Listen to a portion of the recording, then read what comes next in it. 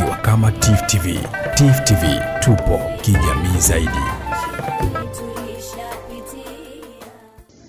Kuna watu baada ya sie kutufanyia vitendo vya kinyama kabisa, mpaka tukafika pahali tukaamua kwamba turudi nyumbani kwetu, hatuwezi bugudha hii ya ugenini wakati tuna chama chetu. Kwa nini tubugudhiwe?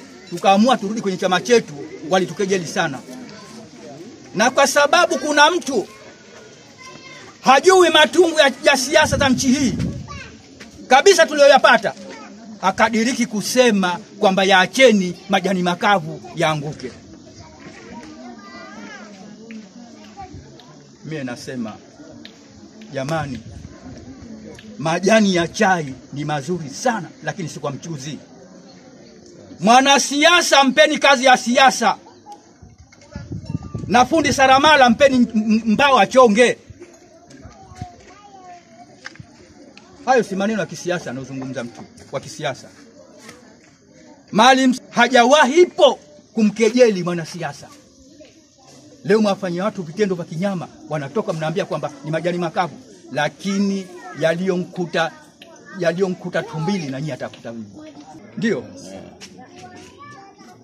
una mwenzetu mmoja alidiriki kusema, alisema na hili nat- nataka niseme popote nitakapokwenda, nitasema neno hili kwamba Hamadi Masudi, mheshimiwa katibu mkuu wa chama hichi, wewe umefa, umetaka uwenyekiti ukapoteza mke wako na wenyekiti umeukosa. Je, wewe kwa kuuliza, je wewe leo unaambiwa kama wataka uwenyekiti basi utausikia tu kama ataka mwenyekiti wa ukodolea macho wenyekiti utausikia tu. Shekhe, mtu mzima hadhaliliki, mtu mzima hadhaliliki. Rudi nyumbani, kabisa. kimbilia nyumbani kwenu na kwenu. Kwa nini udhalilike ugenini? Leo mtoto mdogo, siasa za mchi hii eh? Agongo mnakwenda jela, azunguka na kiti yeye. Leo afika pahali asema kwamba ikuwa ataka wenye kiti, basi utausikia tu redioni. Umeupata wapi uthubutu huo wewe? Umeupata wapi uthubutu wa maneno hayo? Kwanza ulipewa tu, ulipewa hidaya tu utumie. Leo umekuwa jeuri, hujali watu waliotoka jasho kwa nchi hii mpaka ukafika hapo. Wafikiria amekuja bure bure tu hayo? Watu wamepoteza roho zao, watu wamekwenda jela, watu wamefungwa. Kwa hiyo ninachowaambieni huko ambako kwa wenzetu wako huko wenzetu ambako kwa wako Waheshimiwa, chama hichi ni chama ambacho historia yake wengi mnaijua, kilianza kwa malengo gani na Wazanzibari ilitupa shida gani mpaka tukaanza chama hichi. Si jengine, si jengine, ni kuitafuta haki ya Wazanzibari. Na chama hichi munajua kabisa, wache watie pamba za masikio wasisikie, lakini chama hichi munajua kwamba chama hichi kilianza kwa jina la Bismillahi, na Bismillahi haiwezi kupotea hata siku moja mwelekeo. Kama chama hichi ni cha kufa, kingalikufa na kikawa hakipo tena, lakini kwa sababu kilianza kwa jina la Bismillah na kitaendelea, na ndicho chama ambacho Wazanzibari kitawakomboa, si chama chengine chochote. Waheshimiwa, nitakacho niwaambie leo, thamani yenu imepanda, thamani yenu imepanda vijana. Naamini kwamba tushawapa kazi jamaa zetu.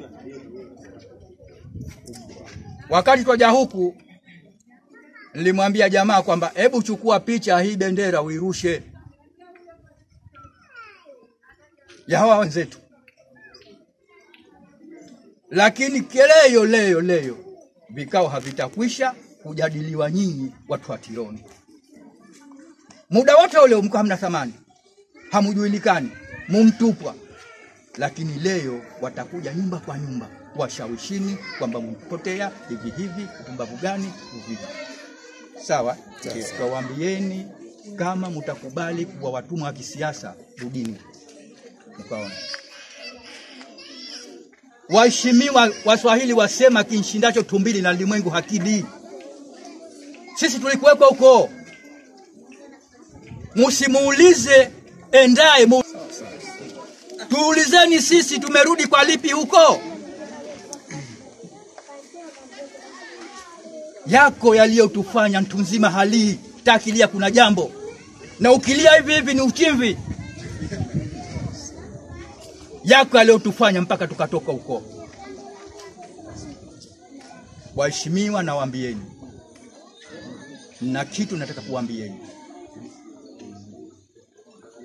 wenzetu, wenzetu kazi yao ni fitna na hasama. Sisi huko hatuko tena, na mimi nawaambieni, auaye kwa upanga na yeye atauliwa kwa upanga.